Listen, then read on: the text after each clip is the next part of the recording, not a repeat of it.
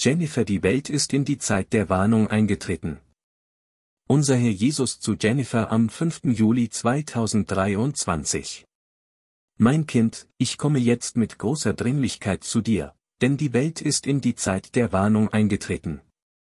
Ich spreche nicht von der Zeit meiner Heimsuchung, sondern dies ist eine Zeit der Warnung, die die Zeit einläuten wird, in der die gesamte Menschheit in die Knie gezwungen wird, um ihre Seelen so zu sehen, wie ich sie sehe.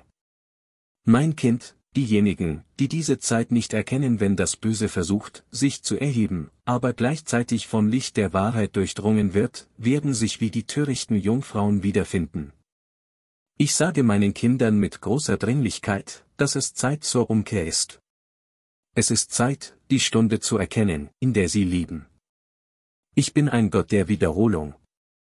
Die Menschheit muss sich vom Bösen abwenden und die Wahrheit verteidigen, Diejenigen, die sich in Unwissenheit abwenden, werden wie diejenigen sein, die die Warnungen Noahs nicht beachtet haben.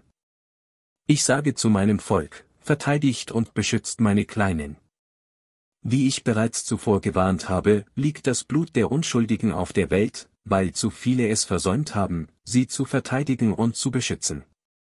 Wehe denen, die meinen Kindern in ihrer sündigen Begierde Schaden zufügen wollen.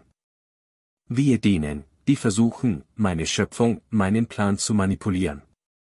Es ist Zeit, meine Kinder, zur Quelle meiner Barmherzigkeit zu kommen. Diejenigen, die es versäumen, das Meer meiner Barmherzigkeit zu suchen, werden zum Hafen meiner Gerechtigkeit gelangen.